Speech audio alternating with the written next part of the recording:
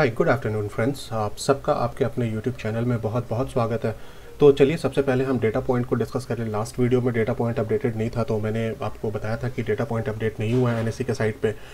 तो चलिए, अगर हम यहाँ पे देखें कैश का डेटा तो आपको देखेगा एफ़ जो है, वो कल भी नेट बायर थे, लगभग बाईस करोड़ के आसपास इन्होंने कैश पे बाइंग की कल। परसों और फिर कल इन्होंने लगभग 2600 करोड़ के आसपास कैश में बाइंग किया वहीं डी की बात करें तो ये दो दिन से कंटिन्यूसली नेट सेलर है। परसों इन्होंने लगभग 1200 करोड़ के आसपास कैश में सेलिंग की और कल भी इन्होंने 770 करोड़ के आसपास कैश में सेलिंग की बट ये जो बाइंग का नंबर है, ये बहुत ज़्यादा है, छब्बीस करोड़ है। तो ये थोड़ा हमें एक पॉजिटिव सेंटीमेंट शो कर रहा है। तो अकॉर्डिंग टू कैश तो कैश मार्केट के हिसाब से मार्केट का जो सेंटीमेंट है, वो स्ट्रॉन्ग रहने के चांसेस है। अगर हम डेरिवेटिव का डेटा देखें तो आपको यहाँ पे देखने को मिलेगा जो क्लाइंट है उन्होंने कल के लिए लॉन्ग पोजीशन क्रिएट की लगभग चौहत्तर के आसपास प्लस शॉर्ट कवरिंग की है। डी की बात करें तो ये लगभग पाँच हज़ार के आसपास इन्होंने शॉर्ट पोजिशन यहाँ पे क्रिएट किया। बट जो अलार्मिंग है यहाँ पे जो इनका कॉन्ट्रैक्ट है ये आपका ऑल टाइम हाई के आसपास आ रहा है। लगभग 62,000 के आसपास इनके टोटल शॉर्ट कॉन्ट्रैक्ट हो चुके हैं आज तक। तो ये इनका फियर फैक्टर यहाँ पे दिखा रहा है कि जनरली ये अपने पोजीशन को जो कैश में बाइंग करते हैं उसको हेज करने के लिए ये शॉर्ट पोजीशन इंडेक्स के अंदर क्रिएट करते हैं। तो अगर ये शॉर्ट पोजीशन जो है ये 62,000 के ऊपर जा रहा है इट मीन्स कि इनको ऐसा लगता है कि मार्केट का टॉप अप कहीं ना कहीं बन चुका है और एक सेलिंग प्रेशर आ सकता है तो इसलिए अपने कैश के स्टॉक को ये हैच कर रहे हैं। अगर हम एफ़ की बात करें तो यहाँ पे कोई खास एक्टिविटी देखने को नहीं मिली। इन्होंने थोड़ी बहुत शॉर्ट पोजीशन क्लोज किया थोड़ी बहुत लॉन्ग पोजीशन क्लोज किया प्लस प्रॉप डेस्क ने यहाँ पे लॉन्ग अनवाइंडिंग की है पचहत्तर सौ के आसपास और तीन हज़ार के आसपास फ्रेश शॉर्ट कॉन्ट्रैक्ट यहाँ पे इन्होंने क्लोज किया। तो टोटल फ्यूचर के अंदर कोई खास एक्टिविटी देखने को नहीं मिली। लगभग सत्रह अठारह सौ के आसपास जो कॉन्ट्रैक्ट है, वो क्लोज की गई। मार्केट ऊपर ग्रीन में क्लोज हुई तो हम इसे शॉर्ट कवरिंग लेके चलेंगे। ऑप्शन के अंदर यहाँ पे लॉन्ग बिल्टअप दिखा रहा है कि जो बड़े प्लेयर है, वो लॉन्ग पोजीशन कैरी कर रहे हैं और प्रॉप डेस्क है जो लॉन्ग पोजीशन कैरी कर रहे हैं। तो अगर हम डेटा पॉइंट का कंक्लूजन निकालें तो कैश का डेटा हमें एक स्ट्रेंथ की तरफ़ इशारा कर रहा है। फ्यूचर का डेटा भी हमें एक स्ट्रेंथ की तरफ़ इशारा कर रहा है क्योंकि यहाँ पे शॉर्ट कवरिंग की गई है। बट इसे हम थोड़ा न्यूट्रल लेके चलेंगे। और ऑप्शन का डेटा भी हमें एक स्ट्रेंथ की तरफ़ का इशारा कर रहा है। इट मीन्स कि अकॉर्डिंग टू डेटा पॉइंट जो मार्केट का सेंटीमेंट है, वो स्ट्रॉन्ग रहने के चांसेस हैं। ये डेटा पॉइंट हमें सजेस्ट कर रहा है। अगर हम चार्ट पे चल के देखें, क्योंकि हम कोई भी ट्रेड जो है, वो सिर्फ़ डेटा पॉइंट के बिहाफ पे नहीं लेते हैं। हम चार्ट को ज़्यादा प्रेफरेंस देते हैं। और हम प्राइस एक्शन पे अपने ट्रेड को प्लान करते हैं तो हमने कल डिस्कस किया था कि इन केस अगर यहाँ पे हमें निफ्टी जो है एक चैनल के अंदर ट्रेड कर रहा है, ये नीचे का चैनल है, यहाँ से ये बार बार बाउंस कर रहा है, और यहाँ पे ये ऊपर का चैनल है तो यहाँ से ये बार बार रेजिस्टेंस लेके हमें एक सेलिंग देखने को मिल रहा है। तो यहाँ कहीं हमें एक प्राइस एक्शन दिखता है तो हम लॉन्ग करेंगे और ऊपर का हम ये टारगेट प्लान करेंगे। बिल्कुल ऐसा ही हुआ चैनल के हायर एंड पे आके निफ्टी यहाँ पे सेकेंड हाफ़ में एक अच्छा मोमेंटम देखने को मिला और हायर एंड पे ट्रेड कर रहा है। तो यहाँ पे हम क्या करेंगे कि कल अगर हमें कोई यहाँ पे 15 मिनट के टाइम फ्रेम पे या 5 मिनट के टाइम फ्रेम पे एक डबल टॉप का फॉर्मेशन दिखता है तो हम यहाँ पे शॉर्ट करना प्रेफर करेंगे। रीज़न बिंग क्योंकि ये काफ़ी टाइम से इस पैटर्न को फॉलो कर रहा है तो एक बार स्टॉप लॉस ट्रिगर ज़रूर होगा। जब भी ये ब्रेकआउट देगा तो स्टॉप लॉस ट्रिगर होगा तो बट हम कंजर्वेटिव साइड में अगर यहाँ पे हमें कुछ प्राइस एक्शन दिखता है, तभी हम शॉर्ट करेंगे एल्स हम वेट करेंगे। ये तो पहला सिनेरियो हुआ। दूसरा सिनेरियो ये हो सकता है कि मान लीजिए कि निफ्टी आपका यहाँ पे आने के बाद ये ब्रेकआउट दे दे। तो ब्रेकआउट देगा तो हम इसे बाई नहीं करेंगे, हम वेट करेंगे। यहाँ पे कुछ इस टाइप का प्राइस एक्शन दिखता है तो फिर हम ये ब्रेकआउट पे बाई करेंगे। नीचे का स्टॉप लॉस और वन इस टू टू के लिए हम प्लान करेंगे। बट ये प्राइस एक्शन दिखने के बाद ही हम लॉन्ग करेंगे। नहीं तो हम लॉन्ग का ट्रेड नहीं लेंगे, हम शॉर्टिंग के लिए यहाँ पे प्लान करेंगे। अगर हमें कोई प्राइस एक्शन दिखता है तो फिर हम यहाँ पे शॉर्ट करेंगे।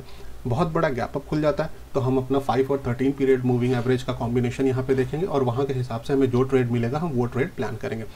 अगर हम बैंक निफ्टी की बात करें तो बैंक निफ्टी में भी आपको कुछ ऐसा ही पैटर्न देखने को मिलेगा कि ये डाउनवर्ड स्लोपिंग चैनल में चल रहा है। कंटिन्यूसली हमने डिस्कस किया था कि ये ऊपर का ट्रेंड लाइन है और ये नीचे का ट्रेंड लाइन है। तो बैंक निफ्टी भी यही कर रहा है कि ये नीचे आता है, इसके बाद इसको टच करता है, फिर ऊपर बाउंस करता है। तो हमें यहाँ पे कोई टच पॉइंट मिला नहीं तो बैंक निफ्टी में कल कोई ट्रेड आपको मिला नहीं होगा। बट अब ये हायर एंड पे चल रहा है। तो यहाँ पे अगर कोई हमें प्राइस एक्शन दिखता है, मान लीजिए कि कुछ इस टाइप का पाँच मिनट पे प्राइस एक्शन दिखता है तो हम एक बार यहाँ पे शॉर्ट करने का रिस्क लेंगे। स्विंग के ऊपर का स्टॉप लॉस रखेंगे और वन इज़ टू टू के लिए प्लान करेंगे। लॉन्ग हम तभी करेंगे जब इस चैनल का ब्रेकआउट होता है। ब्रेकआउट होने के बाद यहाँ पे इसको रीटेस्ट करके फिर एक प्राइस एक्शन बनता है। तो अगर ये स्विंग का ब्रेकआउट होता है तो ही हम फिर लॉन्ग का साइड का ट्रेड यहाँ पे प्रेफर करेंगे। एल्स हम ट्रेड को अवॉइड करेंगे। तो दोनों सिनेरियो हमने देख लिया। ये भी हो सकता है कि ये सीधा गैप डाउन खुले और गैप डाउन खुलने के बाद ये लोअर एंड पे आ जाए। तो ये कंटिन्यूसली इसी पैटर्न को फॉलो कर रहा है। और ऐसे ही ये ट्रेड कर रहा है। तो कोई एक बार हमारा स्टॉप लॉस ज़रूर ट्रिगर होगा। अगर मान लीजिए कि हमने यहाँ पे शॉर्ट किया और ये ऊपर को ब्रेकआउट दे दिया तो एक बार स्टॉप लॉस ट्रिगर होगा। या फिर हमने यहाँ पे आके लॉन्ग किया और ये नीचे को ब्रेकडाउन दे दिया। तो इसीलिए हम कंजर्वेटिव साइड में ट्रेड प्लान कर रहे हैं कि हमें जब कोई प्राइस एक्शन दिखेगा, यहाँ पे तभी शॉर्ट करेंगे, या फिर यहाँ पे कोई प्राइस एक्शन दिखेगा, तभी हम लॉन्ग करेंगे। तो ये बैंक निफ्टी निफ्टी का व्यू हो गया। अगर हम बात करें स्टॉक्स की तो पहला स्टॉक जो चार्ट पे अच्छा लग रहा है, वो बजाज फिनसब है।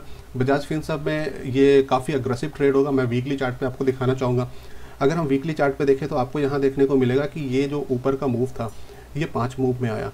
तो ये ए का फॉर्मेशन हुआ। देन आफ्टर यहाँ ये करेक्शन मतलब कि ये वेव आपका, यहाँ पर फिफ्थ वेव कंप्लीट हुआ। देन आफ्टर बजाज फिनसब जो है, वो एक करेक्शन में करेक्शन पैटर्न क्या बन रहा है? ये ए ये बी ये सी तो इसे हम डब्ल्यू कंसिडर करेंगे, ये तीन मूव में आया। यहाँ पे कोई मूव का आइडेंटिफाइड मूव नहीं है, ये अन आइडेंटिफाइड मूव है तो हम इसे एक्स कंसिडर करेंगे। ये डबल करेक्शन में चल रहा है। और यहाँ पे अगर देखेंगे तो ये तीन मूव में आया तो हम इसे, ये वाई कंसिडर करेंगे। और यहाँ पे ये डबल एक्स का फॉर्मेशन कर सकता है। अभी हम कंफर्म होकर नहीं कह सकते बट अगर ये 61 परसेंट के नीचे ट्रेड करना स्टार्ट करता है इट मीन्स कि यहाँ पे डबल एक्स का फॉर्मेशन हो गया। और फिर हमें एक डाउन मूव देखने को मिलेगा। जो डाउन मूव हमें देखने को मिलेगा, वो इधर कहीं ट्रेंड लाइन के आसपास में आके देखने को मिलेगा। ये जो ट्रेंड लाइन है, मैंने ये आपका ज़ीरो और एक्स का जो ट्रेंड लाइन है, इसको कॉपी करके यहाँ पे डब्ल्यू पे पेस्ट किया। तो ये ट्रेंड लाइन तक हमें फिर मूव देखने को मिलेगा। तो अकॉर्डिंग टू वीकली चार्ट ऐसा लग रहा है कि बजाज फिनसब में एक सेलिंग प्रेशर हमें देखने को मिल सकता है। अगर हम डेली चार्ट में देखें तो हम यहाँ पे थोड़ा वेट करेंगे। वेट करेंगे कि अगर ये मान लीजिए आपको यहाँ पे एक डबल टॉप का इनिशियल फॉर्मेशन भी होता हुआ दिखेगा तो ये कंफर्म तभी होगा जब ये स्विंग का ब्रेकडाउन होता है। तो हम यहाँ पे वेट करेंगे, अगर मान लीजिए ये 61 परसेंट के नीचे ट्रेड करना स्टार्ट करता है 1604 के नीचे ट्रेड करना स्टार्ट करता है तो फिर हमें एक सेलिंग प्रेशर देखने को मिल सकता है। तो इसके नीचे 1604 के नीचे हम इसको शॉर्ट करेंगे, ऊपर में हम पाँच से सात रुपये का या फिर दस रुपये का स्टॉप लॉस रखेंगे और नीचे में वन के लिए हम प्लान करेंगे।